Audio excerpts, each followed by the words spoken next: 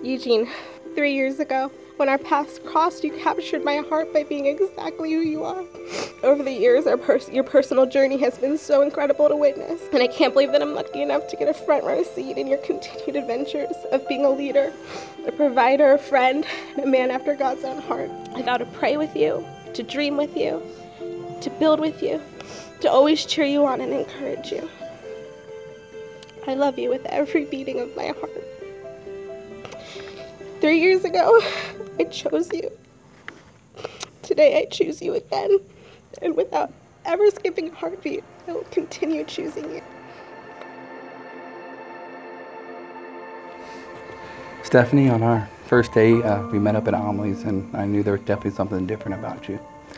Over the next few months, we, we got to know each other, and I realized a joy that I haven't found in a partner ever before. And then everything just got really awesome and amazing. you are my rock and my comforter. I vow to love you as you deserve to be loved, with admiration, adoration, passion, pragmatism, and respect, and to treat you like the woman that you are, even when you're taking forever to get ready. and I vow to remain by your side as we grow old.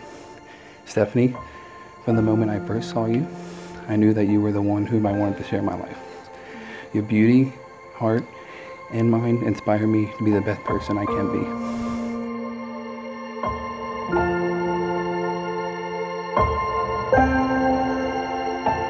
Eugene, would you like to kiss your wife?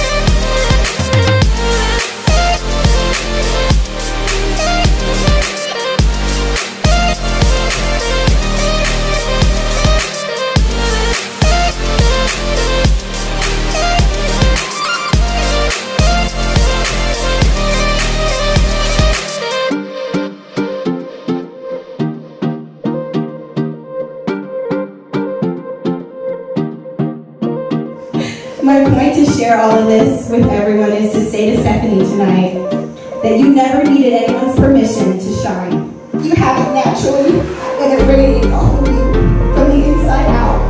The truth is that you have always